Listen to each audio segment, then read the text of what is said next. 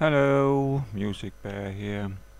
This is just uh, one of these my tiny tip collection and this time we're going to focus the loop markers and it's a very simple trick but it's a trick so I just think I'll share it. Um,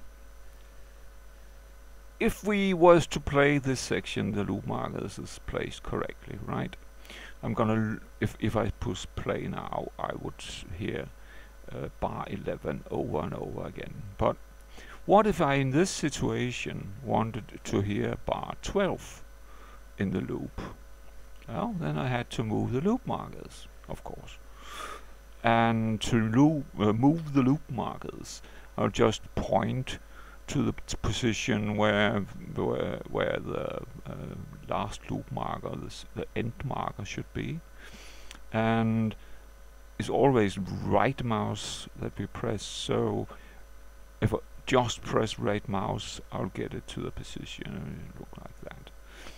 And then of course I have to address this guy and say you have to go to the, the start position of it. And to do that this guy is moved by holding shift and pressing uh, the right mouse again. So here we go. Now I loop the 12th um, um, bar. I'll just move them back again. But it actually is possible to do with only one click. And um, I'll show you what uh, I do and then we can talk about how it's done. Um, this guy here will now magically jump to this position and that one will switch. One click. Done. Uh, let's look how it's done. First we'll move them back into position. We can also do that magically. Um, see, this guy here, I actually want him to be at this position, right? And this guy, I want to be in that position. So I can loop bar 12.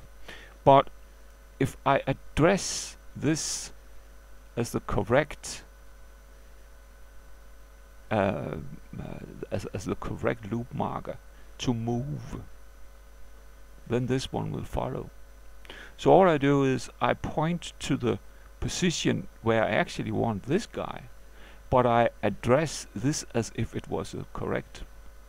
So I point to this position but this time I hold shift and press right mouse and both changes the other way around, of course, is that I want this guy to go here. But it's actually this one that I'm talking to, right? So to get that one to go there, I only press the right mouse and they both shift.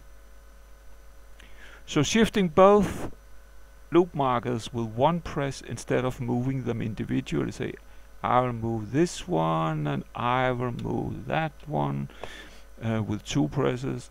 Uh, you can do it with one.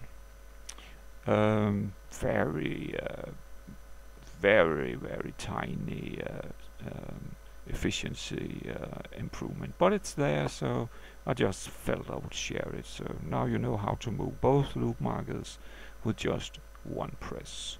That's all for today, and um, have a nice day. Bye bye.